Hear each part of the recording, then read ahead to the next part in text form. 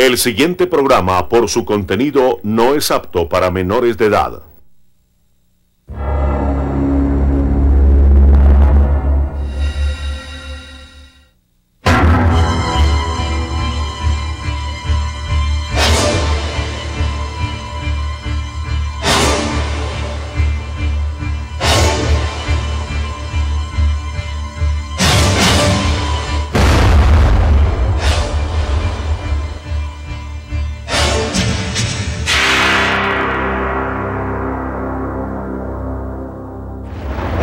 Alfredo Garavito, el hombre que aterrorizó al país. El 22 de abril de 1999, en la ciudad de Villavicencio, capturaron a Luis Alfredo Garavito Cubillos, considerado uno de los asesinos en serie más grandes de la historia. Asesinó, torturó y violó a más de 140 niños entre los años de 1992 a 1999. Fue judicializado solo por una de sus víctimas. Actualmente lleva siete años en prisión y es probable que en tan solo cuatro años recobre la libertad. Guillermo Larrota, más conocido como Pirri, es la única persona que lo ha podido entrevistar siete años después de su captura, motivo por el cual se realizó el documental En las manos de Dios, emitido por el canal RCN el domingo 11 de junio de 2006. Bueno, hace dos años eh, haciendo como una especie de consejo de reacción que hacemos aquí buscando temas, eh, por alguna razón que no recuerdo específicamente salió el tema de Garavito, ah ya recuerdo, porque le hicieron un documental de Discovery Channel en el que nunca pudieron entrevistarlo porque el señor no quiso, no se pusieron de acuerdo en términos económicos.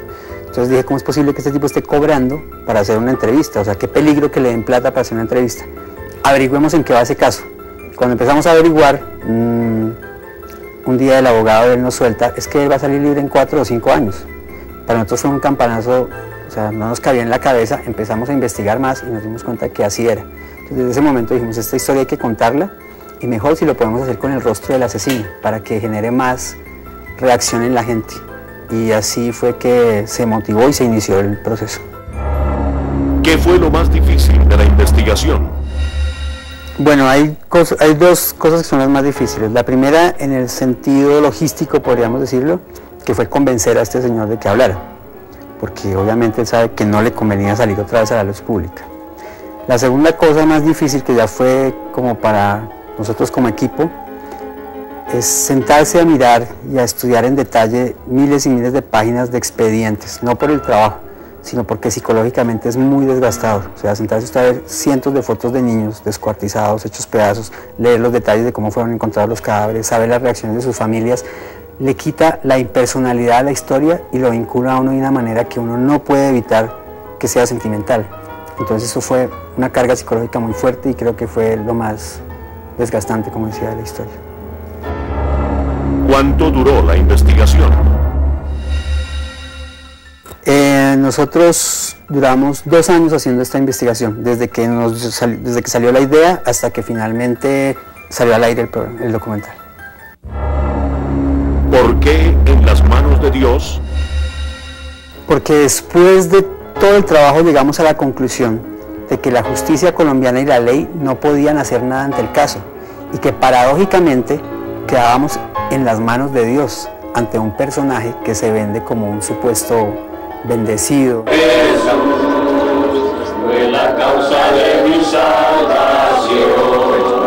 De, esta, de este peligroso fanatismo religioso, o sea, quedamos en las manos casi que de ese Dios que él muestra, lo cual nos parece aterrador.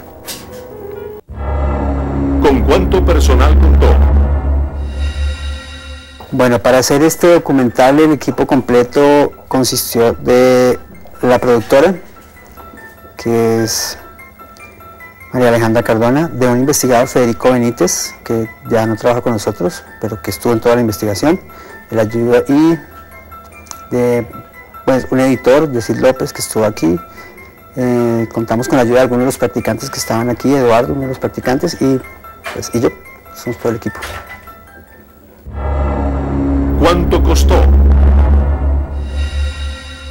Bueno, normalmente el programa que yo hago semanal es un programa económico, es un programa de bajo presupuesto aunque no parezca, pero cuando el canal supo de la importancia que tenía esta, historia, eh, de la importancia no en el sentido comercial, porque en realidad esto no le, representa ganancias al canal en la medida que es un programa sale a las 11 y cuarto de la noche y en el que la gente no se quiere involucrar por la dureza del tema. Eh, me abrieron una posibilidad de presupuesto que nunca antes tenía. Yo normalmente trabajo con una cámara PC110 Sony así de pequeña, yo mismo hago la cámara, en fin, pero aquí me autorizaron, por ejemplo, utilizar cámaras digitales, podía, mm, pude viajar muchas veces a Pereira, a Armenia, a Cali, en búsqueda de, las pistas que nos daba este personaje. Mm, tuve, por ejemplo, para la entrevista dos cámaras digitales, un sonidista, un director de, director de, fotografía, cosas con las que nunca había trabajado. Yo perdí la cuenta cuando ya íbamos por el orden de los 60 millones de pesos. Perdí la cuenta y estamos como en ese proceso de saber cuánto costó esto, que pues es, a la larga no es tan importante. ¿Le exigieron algo para poder realizar la entrevista? La única persona que nos exigió algo para realizar la entrevista fue el propio Garavito, porque como le decía al principio, este señor pensó tal vez que él, estaba maquinando toda una estrategia para su salida.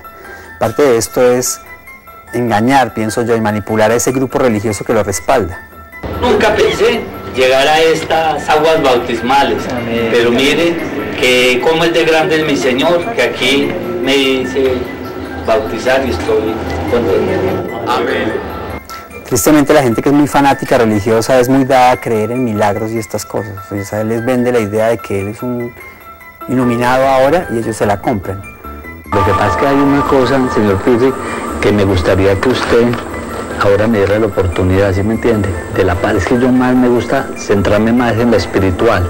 Ahora más adelante me da un espacecito para comentar unos textos de la Biblia, de pronto que cuando ya vamos a terminar hacer una oración y que eso quede firmado. Él, él, pensó tal vez que esta entrevista le iba a ayudar a reforzar esa idea y por eso mismo me exigió que, por ejemplo, no podía usar palabras como eh, asesino, como bestia, es un tipo muy manipulador que si uno se fija en el documental eh, evita utilizar la palabra asesinato y utiliza la palabra hecho punible, como si eso aminorara las cosas. Él evita decir los niños y utiliza la palabra los menores. Y en esa medida entonces nos exigía que no usáramos estas palabras y que no lo atacáramos frontalmente. Decía, él me dijo varias veces, o sea, si usted me confronta en cuanto a los casos, yo me paro y le dejo la entrevista ahí. Y consultando con algunos expertos nos decían si es que la mejor manera de sacar la información a un psicópata no es la confrontación directa. Porque el tipo tan pronto se siente atacado y se, va a parar.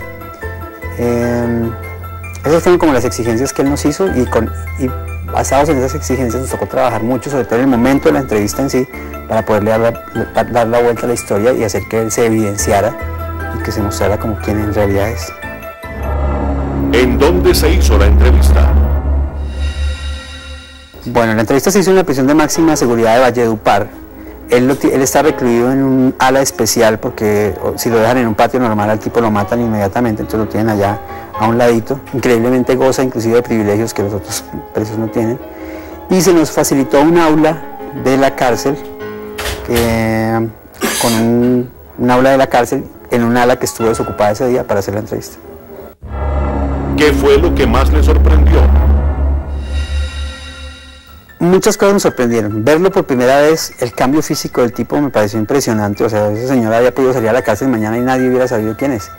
Pero la cosa que más me sorprendió, a medida que iba avanzando la entrevista, cada vez yo me sorprendía más del, como de lo cínico y de lo caradura que podría ser el personaje. Pero cuando se sienta y me dice que él aspira a ser un pastor religioso y llegar al Congreso de la República para hablar en nombre de la niñez, yo aspiro a llegar al Congreso de la República. ¿Para qué, señor Pirri?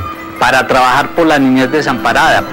En ese momento no sabía si reírme, igual tenía que controlar todos mis, gestos, etcétera, pero que realmente dije, no, este es, señor es un monstruo. ¿Cuándo se grabó la entrevista? La entrevista se grabó el 14 de enero de este año. Cuando hicimos la entrevista, este señor nos empezó a soltar una cantidad de pistas y datos útiles para la investigación con lo que nosotros no contábamos, que fue, creo que fue una ganancia, se puede decir, o un logro para nosotros muy grande, porque de un momento a otro el tipo que quería no hablar de esos casos empieza a soltar datos de dónde había dejado cuerpos. Por allá en Fusa también hay unos restos, yo sé, tengo cómo se de cómo entrar. Y eh, por el Alto de Rosas también hay otros restos, yo creo también condenaron, pero no encontraron los restos. datos por los que no ha sido procesado. Yo quería sacar la, entrevista ahí, pero como le digo, más que una entrevista, es un documental. O sea, la mitad del trabajo, es, más del 60% del trabajo está por fuera de lo que es la entrevista de. Entonces dijimos, con esta información es súper importantísima para darse la a la fiscalía y para que algunas familias de las víctimas sepan qué pasó con sus hijos. Entonces, antes de sacar el, el documental al aire, teníamos que ¿cómo se diría? Como despejar todas esas dudas, llevarle la información a la fiscalía y acompañar ese, esos procesos de búsqueda. Hasta que no tuvimos respuesta, en especial del caso de la familia Palacios, que es con quien se cierra el, documental, pues no decidimos no sacar el tema al aire. ¿Por qué aparece paralelamente en el documental la familia Palacios? El hilo conductor más apropiado nos pareció este, porque más allá de las encuestas y los números y las proporciones y las estadísticas, perdón, sobre el caso de este asesino que puede ser uno de los más grandes de la humanidad, teníamos que aterrizar esto a una vivencia personal, hacerlo, humanizarlo.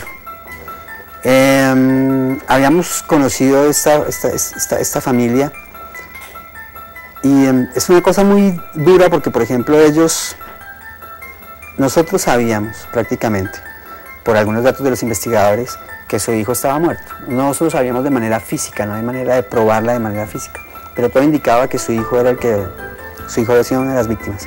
Ellos como padres se, resistían totalmente a creerlo porque una madre lo último que pierde es la esperanza. Entonces nosotros dijimos a esta, familia que colaborarle al máximo para que tenga una respuesta. Eh, empezamos a trabajar con la fiscalía en, las pruebas de ADN, los restos que había, en las búsquedas, al final la Fiscalía nunca pudo darles tampoco una respuesta concluyente porque los restos socios en los que se buscaron no dieron positivo, o sea, ya la Fiscalía no tenía nada más que hacer, hizo lo que pudo. Y llegamos a una conclusión y era, solo hay una manera de que esta gente tenga una respuesta y es que el mismo asesino les confirme. Y ya viendo estas fotos, pues no me queda ninguna duda de que es el menor que yo me llevé el 17 de noviembre de 1997.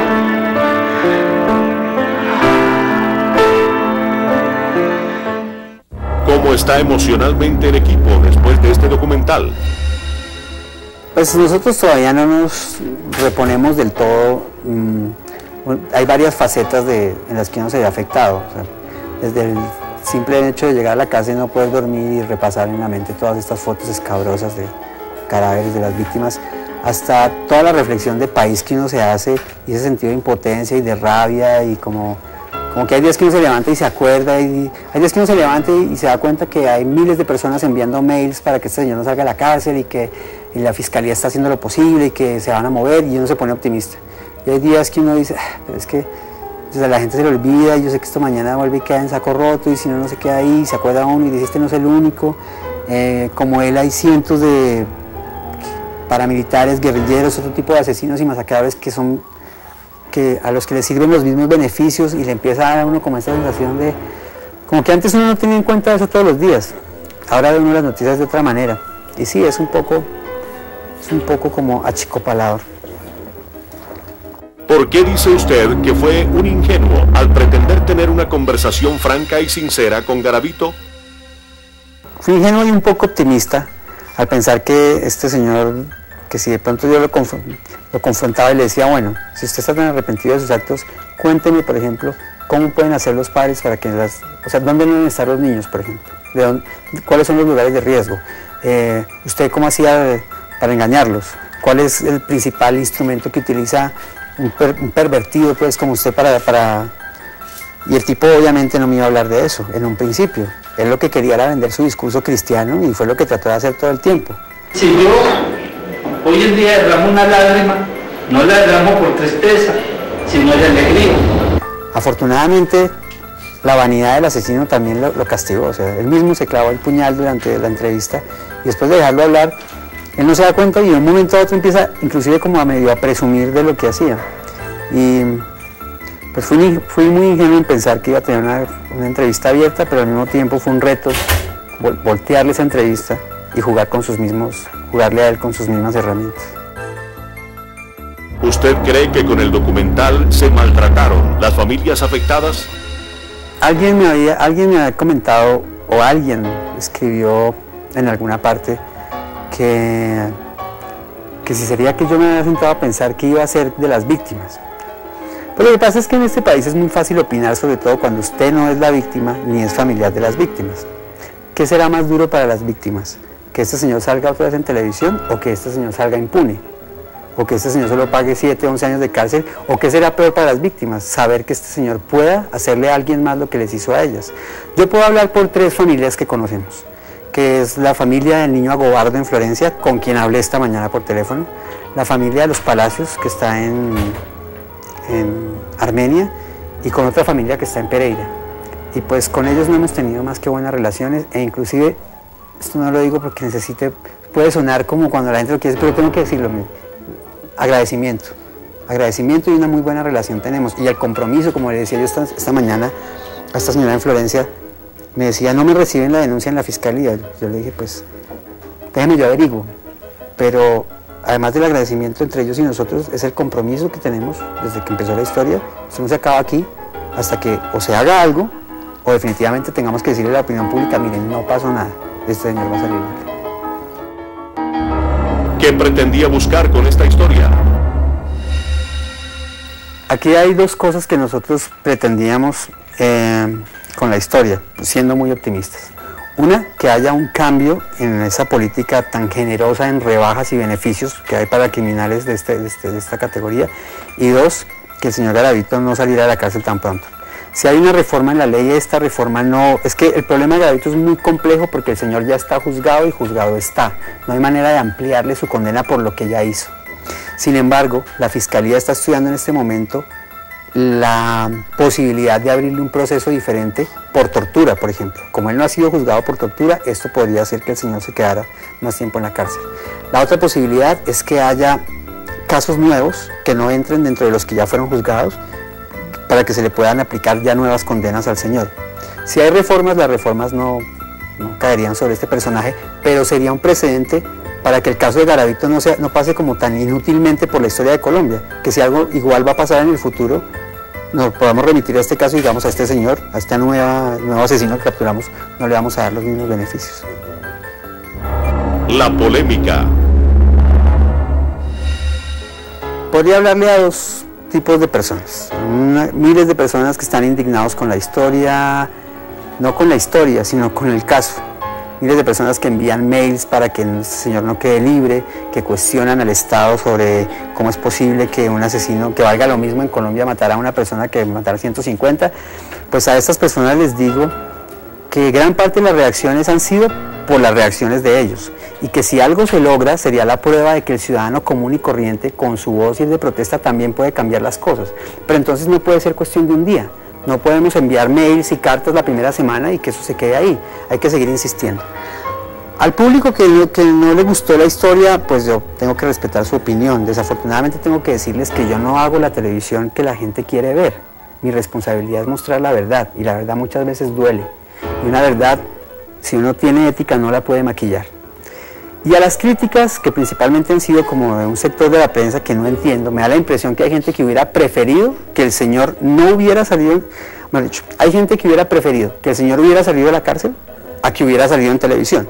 No entiendo por qué, cuál, es, el, rollo moral ahí que tanto les afecta.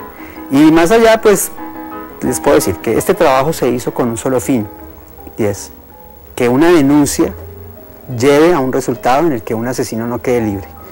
Si esto pasa, si la condena del Señor se demora uno o dos años más, que pensamos que esto puede salvar vidas, nosotros nos damos por bien servidos y eso, es nuestra, eso era nuestra motivación. De ahí para allá las críticas, la verdad, para, sin ser irrespetuoso, pero para utilizar una palabra que decía mi papá mucho, es un mal en huevo. Muchos han criticado a Pirre que porque un medio se prestó para esto. Eh, somos de pronto bufones en un gran sistema donde nos rasgamos las vestiduras por unas entrevistas de este tipo. Pirre es un buen periodista, buen presentador, conoce, es una persona eh, abierta y me parece que, que en el fondo es una entrevista donde él está diciendo, mire, mire lo que está pasando. No es justo que aquel que se roba, ¿sí? Una gallina, el fin no justificar los medios, para llevar de comer a su casa, le clavan, perdónenme la expresión, cuatro años de cárcel y este que mató 140, 170, violó a niños, el señor ya va a salir de la cárcel.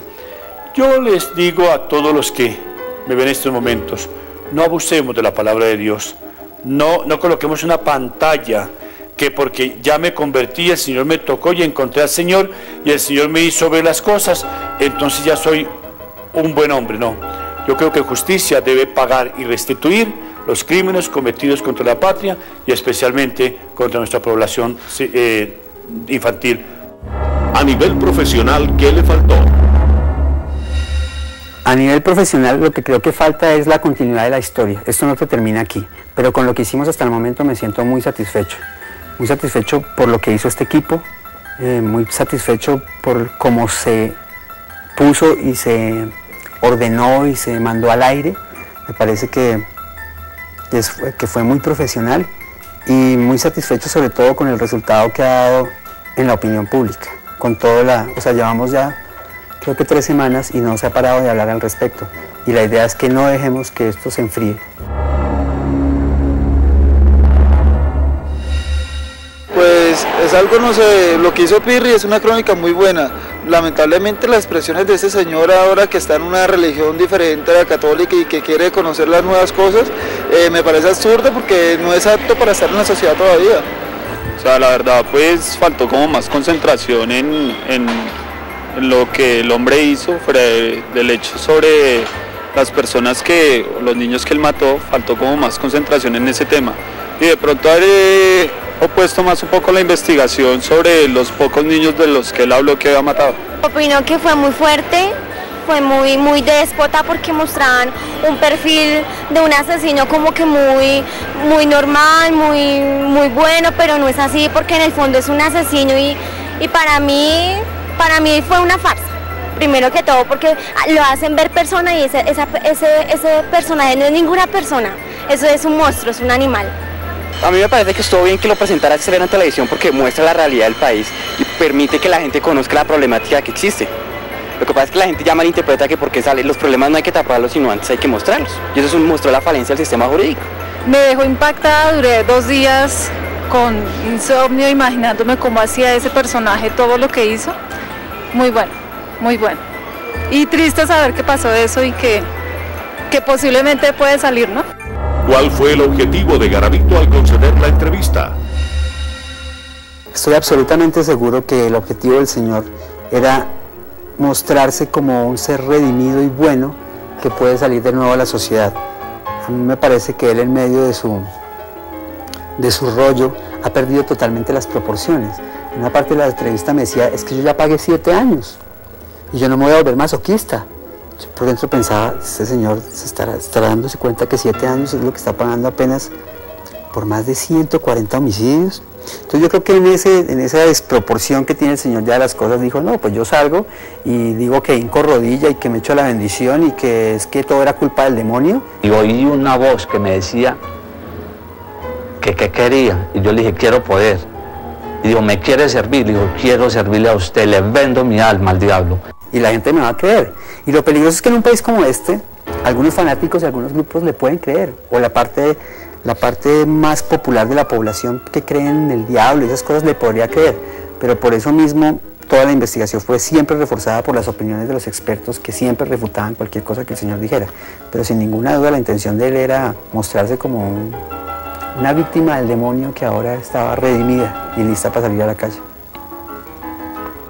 Su confrontación con Garavito. Es curioso, en estos días leí en el editorial del Tiempo que decía que este trabajo era una mierda y que el periodista ni siquiera había confrontado al, al asesino. Como le decía antes, confrontar a un psicópata no es una cosa que un periodista que sepa lo que es entrevistar a un psicópata sabe que no es lo mismo que entrevistar a cualquier otro criminal. Em, yo tenía que confrontarlo, pero tenía que confrontarlo de una manera no directa. Entonces, ese señor me echa todo su, su rollo religioso. Yo ahora puedo decirle, mire, sabe que no le creo, no me crea tan pendejo. Pues el man se... Entonces prefería acudir, a un libro porque él me echaba el, el, cuento todo el tiempo de la ciencia, que él también con la ciencia y que él le quería colaborar a la ciencia. Entonces lo que dice es, no lo digo yo, lo dice este científico, dice esta cosa, ¿usted qué opina? A lo mejor, mire, a lo mejor este, este honorable científico, el que escribió, ¿este es un doctor de dónde? De Estados Unidos. Bueno, yo sé que hay muchos científicos que son ateos y no y no como aceptan, eh, digamos, la, el cristianismo, pues la, lo espiritual, eso no lo acepta. Entonces piensa que uno se metió allí por, ¿sí me entiende? Pero si yo fuera lo contrario, también me criticaría. Lo hice, lo hice varias veces en el, en el documental, solo lo dejé, lo dejé, una vez para no ser como reiterativo. Y, mm, y, es el momento en el que él muestra su desfachatez total y dice que es que, que, claro, que es que si él dice una cosa le creen y si dice la otra no le creen, y, pero en ese momento es logro como, me parece, como evidenciar el tipo de mentiroso que es. ¿Lo vio arrepentido? Mire, es curioso lo manipulador y hábil que puede ser un psicópata. Cuando yo llegué a la primer, el primer día, porque yo tuve una charla previa con él, yo estuve sentado hablando con él dos horas, porque la idea era, primero, tenía que ser claro con el tipo igual. O sea, tenía que decirle, mire señor, esta entrevista no está hecha ni, ni, para ayudarle, ni para hablar a su favor. Lo único que le puedo prometer es dejarlo que usted cuente su versión de los hechos. Y él también tenía que pedirme a mí unas condiciones para que se hiciera. Durante esa primera charla, como a los 15 minutos de estar conversando con él, un tipo absolutamente salamero, un tipo melindroso que todo el tiempo le está diciendo a usted, eh, bendito sea, siéntese aquí, Dios lo bendiga, no sé qué.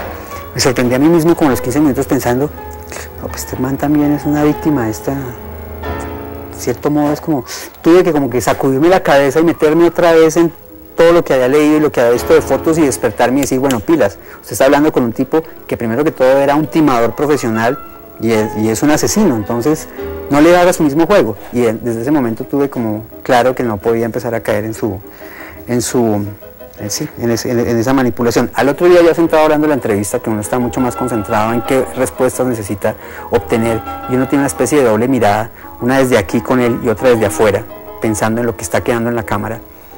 Eh, ya no me queda la más mínima duda de que el señor, primero, está cero arrepentido y segundo, que no le importa. O sea, que no le importa ni le pasa por su cabeza, las víctimas no existen. Ya tampoco pienso yo ya colaborar con más, yo ya cerré, doblé la página, ya, qué pesar. Eso no existe, o sea, él es un tipo que gira alrededor de sí mismo y, que su vanidad y su narcisismo le da para hábilmente en un discurso compararse con, personajes como Martin Luther King o como eh, Hitler o como eh, inclusive el presidente Kennedy y el Papa, él se pone en el mismo plano. Así que en ningún momento vi que este señor tenga la más mínima señal de arrepentimiento o de posibilidad de volver a la sociedad. Garavito es una persona con problemas de personalidad, con problemas en su orientación sexual y con algunos problemas en su infancia que detonaron una personalidad psicopática. Estos detonantes no justifican su personalidad. Él es un sádico y un pedófilo que carece de conciencia y que disfruta con el dolor de sus víctimas. Garavito, la religión y la pena de muerte. Obviamente el discurso del señor Garavito es muy conveniente, ¿no? Entonces uno le dice, bueno, ¿y usted qué opina de la pena de muerte? Ah, no, no puedo estar a favor porque, porque está en, va en contra de mi religión. O de la cadena perpetua, no, porque va en contra de mi religión. Yo no creo, yo no creo que, que una condena abultada o la pena de muerte vaya vaya a arreglar. Lo único, vuelvo y repito, es un cambio personal y un encuentro personal con Cristo. Sin embargo, no creo que él desde un comienzo se haya unido a esta iglesia básicamente por eso. Creo que se unió a esta iglesia fue porque era la primera que tenía de mano. O sea, estos, estos pastores van a visitar presos a las iglesias y ellos creen en realidad en su inocencia que pueden, mmm, que pueden rescatar a cualquier alma. Gloria al nombre de mi Señor,